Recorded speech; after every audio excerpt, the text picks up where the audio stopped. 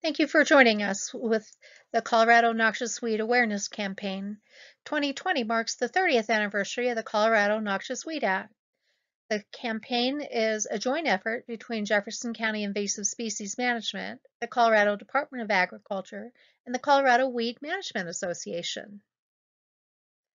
Noxious weeds are invasive, aggressive, non-native plants that have arrived here from places like Europe or Asia they displace native or desirable plants that wildlife, fish, and insects need to survive.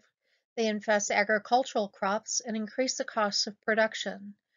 Noxious weeds affect ecosystems by disrupting soil, water, and fire regimes. We launched our Noxious Weed Awareness campaign to help landowners become better stewards of their land and to understand what they can do so first step in any weed management program is to learn to identify the noxious weeds in your area. Also, you need to learn how to manage them. Not every technique is going to work for every weed. And then the most important part of this is let your neighbors and friends and family know about these. Together we can make a difference. If you need more information, contact your local city or county weed manager. The weed that we're talking about in this presentation is myrtle spurge. Myrtle spurge is a Colorado List A noxious weed that requires complete elimination. Elimination means that you have to get rid of all plant parts that are capable of reproduction every year. Myrtle spurge is a perennial forb. That means that it's a leafy plant and it returns every year from the same rootstock. Myrtle spurge was introduced as an ornamental xeriscape plant, but it escaped into our natural areas and it's become very prevalent along the Front Range and on the western slope of Colorado. It can be found in gardens, along rights of way, and in wildlands and rangelands.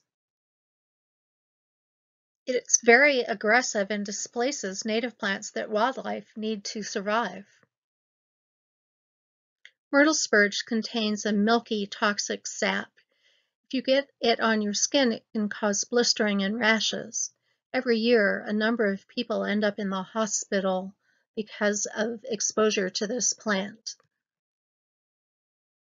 Myrtle spurge has grayish green leaves that are kind of egg-shaped and attached directly to the stem. It has thick stems that trail across the soil. And they have yellow-green flowers that are inconspicuous. What appears to be petals are really modified bracts. The flowers show up between March through May. Myrtle spurge reproduces by seed. The seeds develop in the seed pods, and when the seed pods ripen, they explode and expel the seeds up to 15 feet. And these seeds are covered in a gluey substance that helps them attach to animals or to other plants in the area. Myrtle spurge also reproduces by plant fragments. They can regrow from either stem fragments or can regrow from roots. Myrtle spurge has a very thick, deep taproot. When you're thinking about managing myrtle spurge, you have a couple of options available to you. One of them is hand pulling. You would remove the plant, including that top couple of inches of that big thick root, You'd bag the plant and dispose of it at a landfill. And then remember to wear eye protection, rubber gloves, long sleeves to keep away from that toxic sap. Another method to control your myrtle spurge would be to use herbicide. And It's best to pick the particular herbicide that will work best for your particular situation. So visit the Colorado Department of Agriculture's website for their recommendations. If you need more information about myrtle spurge in your area, contact your local city or county weed manager. They're always available to help you and to help provide specific recommendations for your situation.